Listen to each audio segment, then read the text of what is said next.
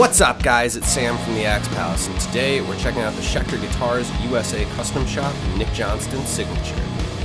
The Nick Johnston Signature is a Strat style guitar built on an alder body with a Wenge neck. It features Hipshot locking tuners, Graphtec TUSQ nut, 22 German silver frets laid into an ebony board with a 14 inch fretboard radius, three single coil pickups, hand wound at Schecter, the new Nick Johnston signature pickups, and a vintage two point tremolo system.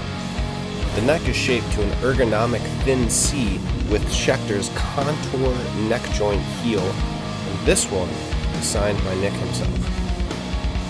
In conclusion, this is one of my favorite strats to play. It feels great, it sounds great, and if you're into that thing, you should definitely check it out. Thanks.